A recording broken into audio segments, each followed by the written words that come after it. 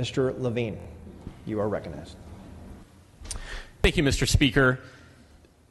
SB 3 and, and SB 2 before it is evidence of how the legislature has struggled mightily with this housing crisis. And if you think about the time when many of us were elected in 2012 at the nadir of, uh, of the Great Recession, when the economy really bottomed out and people were losing their homes because they couldn't afford to hold on to them, they couldn't refinance, they, they, banks were mistreating them, that people were looking to policymakers to solve that problem, try to ease the pain that people were experiencing.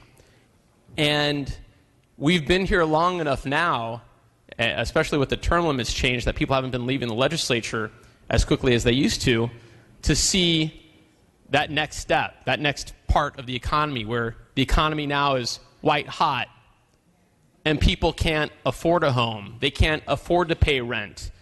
They have no place to go.